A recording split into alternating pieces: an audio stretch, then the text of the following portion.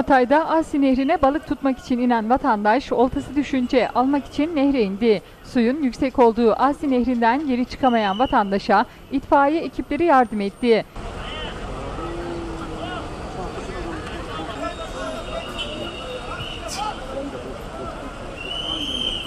Yok önce verdiler ip verdiler. Antakya'da Asi Nehri'nde balık tutan 62 yaşındaki Hüseyin Boruçu balık tutmak için nehre indi. Akli dengesinin yerinde olmadığı belirtilen vatandaş daha sonra nehre oltasını düşürdü.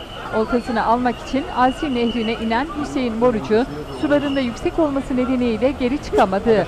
Olayı gören çevredeki vatandaşlar hemen durumu itfaiye ekiplerini ve 112 acil servislerini arayarak bildirdi. Olay yerine gelen itfaiye ekiplerinin uzattığı ipi geri çeviren Hüseyin Borucu kendi imkanlarıyla çıkmayı denedi. Uzun süre Asi Nehri içerisinde kenarda yürüyen 62 yaşındaki adam ikna edici konuşmalar ve uğraşlar sonucunda nehirden çıkarıldı.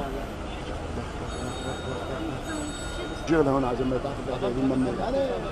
Ha, kimse karışamaz da ama yani Heh, haydi kaldırdılar al. Oo. Hayır. Sevmeye gerek var arkadaş. Tabii tabii. Ne yok ya. Hayır. Bebek Olması gerekir zaten. he? Olması gerekir. Büyük şey. Anlamadığım şey şu bir kolu balık var itfaiye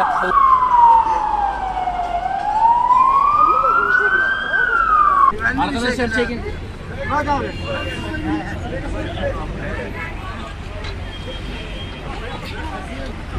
Ayakkabı düştü.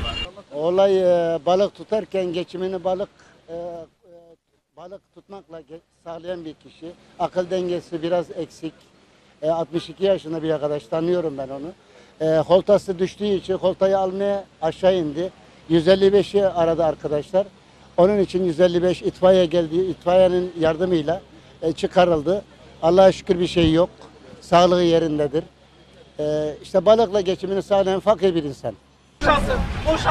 Böyle yedirin.